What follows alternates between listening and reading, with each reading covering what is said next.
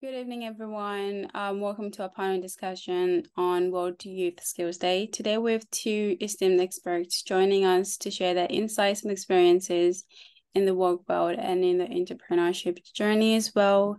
But first, let me talk about what World Youth Skills Day is about. So it's pretty much about um, equipping young um, adults or students into the workspace or entrepreneurship whatever eventually they decide to go um the path of whether it's an apprenticeship or it's actually like going into um maybe a placement after uni how do they equip themselves to stay as um productive as possible but also you know build a network and be as equipped as they can as well. But the importance of this is um it's around skills development whether that's like social um skills work skills, team development skills as well. But before I just like um continue on to more about that, let's begin by introducing our experts. So could you guys briefly introduce yourself separately and tell me um what do you guys do and any like side hustles that you work on? Like we can start with Tracy. Um, hi, I'm Tracy, and I work as a 3D designer. Um, I currently don't do any side hustles, but I used to do a lot of um, animations. Uh, sometimes, like uh, I do hair as as a freelancer, or I'll do just like creative things, whether it's marketing related or it's um, graphic related side hustles. Awesome. Thank you. Thank you. Um, and Leon, how about yourself? Hi, my name is Leon. Um, I work as a legal estate advisor, so I advise people about their properties and about making wills and, and things, you know, like legal documents, you know, kind of thing. Um, I used to do sort of a business myself where I used to sort of buy and sell different items. So I buy things at a reduced price and mm-hmm. I'll like send them on for more. And that's me. I love that. Thank you guys. Um, yeah, that's a fantastic intro. Thank you so much. So do you guys do you guys enjoy what you do? Yeah. Yes, very much so, yeah. Okay, that's good. I love that. I love that for you guys. Um, so I do have some questions regarding like um different skills that you can like work on as well, but these are more like around skills development. So like since joining the work for- workforce, do you guys feel like your communication skills have changed? Uh, personally, I would say yes, because my job is very demanding in terms of time frame. Mm-hmm. So it's really important that you like clearly and concisely communicate to your team members what needs to be done and when, or else it just creates a snowball effect of just yeah bad things. So in terms of being more specific and clear in my speech, that's how my workplace has helped. Okay, great. How about yourself, Leon? Yeah, so it's again very similar to Tracy's, like um, just you know when you've like got a job and that you've got a career you're involved yeah. in, you sort of mature in that way. Mm-hmm. Um, that you sort of in a way like sort of you need to be dependent. You need to work as a team, and mm-hmm. if one person does what they're expected to do, another person can't do because it all links into each other. So I feel like since I've joined the workforce, I feel like since I've been working on a team you know, it's, it's helps my personal development and my personal growth as well. Mm-hmm. So it helps me work on my own initiative, but I'm also able to work in a team, which is just as important as working on your own. Yeah. I think that's really good. Uh, how long have you guys been in the workforce so far? Uh, I've been here for almost nine, ten months. Yeah, so me, it's just just over a year. Over a year. So you you're quite fresh in like in in terms of like working in like workspaces and everything, but you've also learned like the emotional intelligence behind working in a workspace, how you have to be like self-aware, but also know how to communicate things across to anyone if you need something specifically as well and get things done on time. Yeah, that's right. Yeah. Yeah. Okay, I love that. So for somebody who's probably still in uni, what are some like um what would you tell them to work on in terms of like developing their leadership skills? From I would say in terms of leadership skills, I would highly recommend that they, depending on their career, obviously, but I would highly re- recommend that they do something, even if it's volunteer, something that involves them working mm-hmm. in a team. Okay. Uh, because if you get the chance to work in a team, then you might get the chance to suggest something and lead something within the team, whether if it's a small thing, just something interactive that has you talking to other people in a team setting. Um, so yeah, something that involves communicating with other people. Yeah. Okay. How about yourself, Leon? I would say anything that sort of boosts your sort of CV or curriculum vitae, you know, yeah. um, something that can, when you leave uni, can show show a workforce what potential you can bring to that company. Because obviously every single person's got their own skill and yeah. it's having the self confidence and having the self belief to realize that you have a skill and the thing is, the company needs you because you know you have a skill that yeah. somebody else in that workforce will not have. so you can bring that skill, but it's it's being able to exhibit and show what you what you possess, what skills you possess, mm-hmm. and show and demonstrate it in a way, in a confident way, and mm-hmm. bring that to like a company. So you know, it's gain gaining experience, get uh, gain an experience you can do. You know, whether it's a good experience or a bad experience, experience under the belt, experience and yeah. sort of you can use that to help you in your future career. Yeah, I agree. I think especially in this day, it's that bits like education more than anything else because you can you can get a hands-on experience and then you can apply that to different areas. So you can get like a lot of transferable skills into different industries if you ever decide to like, you know what, I don't really like this anymore. I'm gonna go into a different industry as well. Yeah. Mm. Awesome. Um, okay, what about in terms of like time management and organization skills? How have you guys got into a place that you're really good at doing it, or do you still feel like it's something that you're still working on? I'll be very honest. Yeah.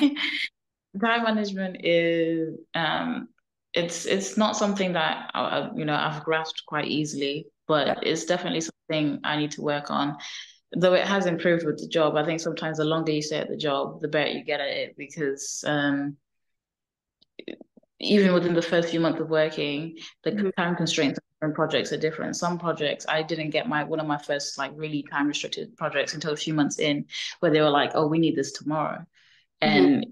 You know you kind of have to figure something out really last minute, and it tests you. So, uh, yeah, it's it's kind of one of those things that you learn across the as you go really. Okay, so you it sounds like you learned how to pivot. yes. Pivot. yeah. yeah, and I have to prioritize yeah. something more than something else because you can never get everything done on time, and exactly do like oh yeah I have to finish this and doing like another high priority project at the same time as exactly. well. Okay, so I know like you work in the creative industry and um Leon, you work in more of like the legal side of industry as well. But from mm. what you've done so far in terms of like building your skills on the creative side, how did you how did you guys get to a place where you're developing your creative skills and how have those helped you in the workspace as well? Um, I am really big on self-learning. So a lot of my skills were developed via um like videos, yeah. um, a few books, and um, knowing other people that like the things that I like. So I like 3D. So mm-hmm. I know other people like 3D, but the geeky kind of people. So I can always yeah. get information from them rather than me reading it because they know it. Yeah. Um, so that's another I learned. Okay, that's so, really good. So mostly YouTube University then. Pretty much YouTube University. That's the best university. But yeah. But how about yourself, Leon? Yeah, so for me, I would like watch. Fun enough, sounds a bit nerdy, but I would like watch documentaries. Oh, yeah. Um, what kind of documentary? Um, yeah, so um, what do you mean, like for for legal stuff or for like creative stuff? Just creative in general like what kind of documentaries because usually i think of like thriller documentaries like scary ones i'm not sure if those are creative yeah something like something like uh, sorry maybe something a bit like mind boggling or something oh, okay. a bit, yeah, a bit out something out there yeah um, yeah something that's going to make your brain think you know it's going to yeah, make you yeah. the word. Something quite intricate, that intricacy for the brain. Mm. Yeah. Um, that really does um trigger that creative side. We've got logical side of the brain, we've got creative side, and that triggers the creative side of the brain. You know. Mm-hmm. Um, of course, you know, that's that's kind of my way of doing things. I'm very much a visual learner, so I like to visualize things, and I have to look at something. If someone tells me something, I'm not very good at sometimes, you know, that someone Yeah. can tell me something, but I need to be able to visualize it. If I can visualize it, then I'm better than someone just telling me auditory, Yeah. you know. Okay, so you're more like a visual learner than you are uh, like auditory, auditory. Yeah, I Oh, really struggle with something. If someone asks me a question, I'll be like, Yeah. okay, can you say that again? you know, Yeah. so So it me, it's just a sounds like it sounds like maybe you, like once you're you're in uni and you're learning, you're growing as an individual, you also kind of like cater to your own way of learning as well, because maybe uni didn't cater that for you to learn how, especially in law. I think it's mostly reading, isn't it? It's not you don't it really is, yeah. like visualization, unless you've got like photography, thick memory, where you just look at the page and you I'm quite good at that. I'm not sure it's quite photographic, but I do Yeah. remember stuff like Oh, okay. I wouldn't go quite there. Yeah, I love that. I really love that. Um, so is there anything else in terms of like teamwork and collaboration in like whether that's in uni or in college that you've learned and you're like, you know what, I really, really, really, really do love this. Um, that just kind of helped you that you've just maybe didn't think it was a skill, but it's it's actually helped you to collaborate and build those teamworking skills. Okay, so you're asking, is there anything, is there a skill that we've learned that helped with teamwork and collaboration? Yeah. Is that the question? That is Um, I know. yeah. Yeah. Um, sorry. I think maybe it sounds like a random one for, for me, that person from Yeah. personal experience. Mhm. Like um as is that is to do ethics. yeah. I think that funnily enough, understanding like doing ethics and understanding how different people like sort of see things and how people sort of feel, that sort of Mhm. helps a little bit in respect of, you know. Okay. That's good. Um, as for me, because I'm really big on solo learning, Mhm. so teamwork is not something that came naturally to me. So what I did was I found someone with similar interests to my passion, 3D, and I used them to learn team working skills. So I'd like make plans and I'd be like, oh, well, let's say we create a project together and we have to work Yeah. on it together. And that's Mhm. how I built it. Because naturally working in a team wasn't natural for me. At uni, we didn't do a lot of Mhm. like real life team working kind of thing. So I kind of had to source that out myself. Okay. Um, so I guess finding kind of real life scenarios to help with team building skills. You know, yeah, a friend or anyone to help. Okay, I like that. I think it sounds like there's a lot of like proactive learning, like you proactively went out there and just like filled in the skills gap by yourself as well. But does that mean that maybe you didn't feel like the uni didn't, the unis you went to, not shit to any unis, but the uni you went to didn't really equip that inter entrepreneur entrepreneurship side of Yeah. it, yeah, and the creative side as well. Do you think there could have been like programs that would have been like more proactive to like kind of help you guys get ready for the workplace, or do you feel like it's okay, this was good for us to just kind of go into it? I know it's Gen Z, you guys tend tend to be more quick on everything than other generations as well, and that's something that I've noticed. Like it's it's gonna happen as you get older, you're gonna be a lot slower, and then Mm. youngers are gonna be quicker as well. So do you feel like maybe with that, like the schools didn't really like have your best interest in terms of like honing those skills for the work workspace? Think there's always sort of, if I use the right words, for room for improvement. Um, I think they could do a much more sort of wholehearted effort in Mm. trying to cater for that creative side. Because it all seems to be like very logical, but you know, the creative side sort of like runs out the window, if you will. Mm. So I think they could do more to try and boost that creative energy, you know? Yeah. Yeah, I agree. I don't really think that It's not enough. at least for me, my uni experience a lot of the skills I have are not from uni. Yeah. Um, and I honestly would say they didn't do much. Oh. So I think that they need to do better in terms of real life skills. I think it's kind of like even if you take it back to like secondary school, there's things that we've learned that we haven't applied in the real world. I think mm-hmm. uni is just that on a bigger scale. Um, there's real life skills like we've only learned. I think it's the same for both of us. We've only learned in actual work in adulthood, yeah. Um, but in uni, they say we're preparing you, but we yeah. get prepared for something that, for situations that don't exist. If that makes sense, because we yeah. don't we don't apply it in real life. So they could definitely do better in almost every aspect. Yeah, no, I totally agree. Like I felt the same as well. So, but I thought maybe it would have changed with like the younger generation because then they would have learned from like the other generation as well. Especially like with i think maybe if they're getting to like a hundred and hundreds of students maybe it might become a little bit less catered to or you might feel like oh you know what? Maybe this isn't relevant to me at all. And mm. especially with the collaboration part as well i guess you kind of have to enjoy what you're doing for you to want to be part of it as well. Is that true? That's true. Yeah i would say that's true. Yeah. yeah. Okay, that's good. Um, so another question I've got um on my screen is that okay, so with like younger people these days, they tend to be very expressive, which I love, and however, this seems to be maybe a challenge in resilience according to research.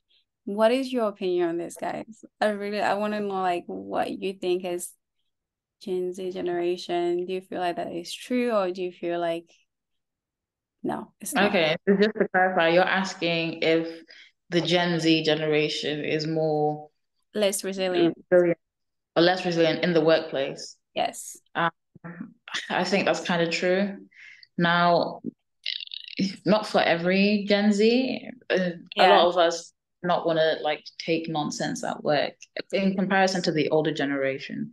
Because mm-hmm. let's be honest, the older generation suffer when they're at work and they don't want to say no to their bosses because of like, you know, they're afraid to affect it. Whereas the younger generation is starting to take less and less of that. Mm-hmm. And yeah. they're starting to realize the truth, which is as much as, you know, our bosses, you know, we mm-hmm. you know, we work for them, we're their employee, they also yeah. work for us because, you know, you know, they need to work for us as much as we work for them. They asked us, you know, from my workplace, they yes, came to me. Yeah they read my skills. So mm-hmm. they need to also make sure I'm happy at the workplace or else I end up going somewhere else. So we have that kind of mentality. Um, so they have less resilience, I think, these days. What would you say? Yeah, I would say less, definitely less. Um, just people don't like put up with things they had to in the past. Yeah. Uh, I'm not sure. I'm not saying nowadays like people got more backbone, but, but yeah, they, I don't think it's just, well, yeah. Yeah. It's just that you know, you sort of come to that realization that you don't have to suffer. Yeah, you know, yeah, yeah. suffer. the word suffer, but have to go through the same things, you know. Yeah. That the generation beforehand did did have to go through. That's true. Yeah. Um, no, I um, agree with that. I really do because I think it's it's very like um, I guess a lot of self love for you to actually stand up and say, you know what, this is not good yeah. for my health. I'm gonna leave as well. But I also think it's a two way street between like the workspace you work at and also like yourself as well. So yeah, exactly. like kudos to you guys. Um, I don't know if boomers would love this, but yes. no, it's good because you got you got apps like um you know Fishbowl. Yeah. Where you have people that go in there and you can rate companies and see what people are saying. So it's kind of like reviews yeah. for companies. So they're gonna want good reviews from their employees. Mm-hmm. So they have to treat you well, um, yeah. which helps. Mm-hmm. need more apps that um, to help yeah. to help. But yeah, the UK, the UK is good for stuff like that. Yeah, so that's the kind of stuff in America. yeah, I like that because our app does that as well. It's kind of like um. So like when you're connected with like a local expect as well, like you actually have to write them and think, oh, okay, like did this person do the job the way I wanted it to be done? Was it up to quality as well? And also like you can also develop like your own skills at the same at the same time. So if you're not mm. like a creative person and you're like, oh, I want to get into creative, you can start something creative, whether that's like learning how to like sew or I don't know if creative like sewing is creative, but along some for some people they think it is to be honest. Maybe it's like painting, you want to start painting class or do you know like this thing that's been going on on TikTok where the people are doing like sip and paint type of thing. Maybe you could do yeah. something like that as well. Mm, And you can actually rate the experience itself and the person who's offering that experience and saying, okay, you know what, this is great. But also you can help with like side hustles and stuff like that. So if if you don't, you know, if you don't like working in your workspace, you can always start a side hustle with us, guys. We got you. That's cool. right. Um, okay, so I've got two more questions. Um, so in terms of like side hustles, especially since the pandemic, what is your opinion on like creating an extra income on the side whilst you're working full time and getting skills that are not related to your job at all? The Definitely. opinion. Well, it's definitely, definitely, if you can, if you can do it, definitely beneficial. Yeah. Um, I guess, I guess it's just for me. Uh, for me, I think you know, it's to to be honest with you, it's, it's the mindset of the person. Mhm, You Yeah. know, and they say the thing called mind over mind over matter, where you Mhm. believe you can do something you don't. If you don't, if you tell yourself you can't do it, then you can't do it. But one thing you do is believe in yourself, have that Mhm. self confidence, and believe that you can do it. Because the Mhm, thing is, it's also not, you know, another saying, you know, you got to you got to try, otherwise, you know, you're gonna fail. But you you know, you have to you you know, it's, it does, there's nothing wrong with failing. You can fail as many times as you Yeah. like.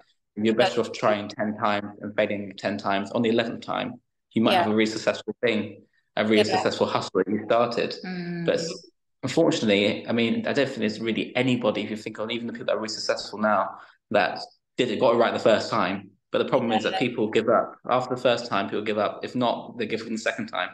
But you have to keep going until you get that that sort of that key market or that sort of um, niche Mhm. market market that you want to be in. You Mhm. know, Yeah. sort of no one else has really put their foot, or you know, improve something, improve a service, and mhm, improve a service that someone else has done and make it better. You know. Yeah. But you know, it's not going to happen unless you have that self belief, and it's not going to happen unless you have that motivation and that Mhm. self confidence and that sort of like undying belief and ambitious nature. It's not going to happen. You know, Yeah. you have to just keep going.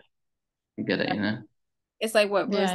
said. It was like you need to be delusional for you to actually do something, or else you're just gonna never do anything. Yeah. It is, Exactly. it's true. And with the whole side hustle thing, um, again, like Leon said, it's really good if you do it. It's the thing is, um, it's a matter of planning, I think, because obviously Yeah. in the real world, the amount of time that I have with work and then outside of work, 80% of our time is spent at work, let's be Definitely. honest, right? And so the energy that you have afterwards to do it, if you don't plan, it, it will just seem like you can never get anything done. So I'd say it's fantastic as long as you plan and as long as you're okay with maybe hours that are that seem like too much. Because if you're going to be doing a side hustle, likelihood is you'll be working after work. Like you Mm, need to figure that out. You know, there's a lot of time that's going into that. But I think it's a great thing. Learning skills outside of your workplace is good. Because if things ever crash in your market, God forbid, then at least you can jump into another one. Well, thank you so much, guys. I know you're really tired. Thank you for making time. Do you have any like last Cool. words or anything that you want to share um before we finish? Um, just so any young person that's watching this, if Mhm. you've got something you like, something you're passionate about, don't rely on other people's knowledge. Be curious, go out, research it, look at it, find it, try and do as much of whatever it is as possible, because you'll find that your own work will pay off better than trying to rely on someone else's knowledge. I love that. I love that. How are you gonna top that, Leon? I don't know, to be honest. That was very good. You planned this before. No, I think that's you- just the first I think you had a heads up, didn't you? Yeah. He was like, drop my Um, drop your hat down. Um, might drop. Um, um, okay. I would just say, you know, sort of not give up. Probably go from that sort of angles. Be ambitious. Keep Mm. striving. Go forward. It doesn't matter if you fail one time, second time, third time. Anybody who makes makes it in life, you know, nobody ever really. At the end of the day, nobody really asks the person how many times did it take you to get to where you are. No, They don't care about that. They just care about the end result. exactly. It Yeah. doesn't matter about how many times. It doesn't matter about how many times you fall down. As long as you're willing to get yourself back up again and carry on fighting for what you believe in, and to keep fighting Mm. for your goal and keep fighting for your objective. And that's the main thing is having the desire and the passion to keep fighting despite all the elements against you. Yeah. You know, and that's what I would say. You got to keep, got to keep the faith, got to keep believing in uh, in yourself that you can do it. Well said. Amazing. You came back. You definitely came back. I mean, that was quite good as yours.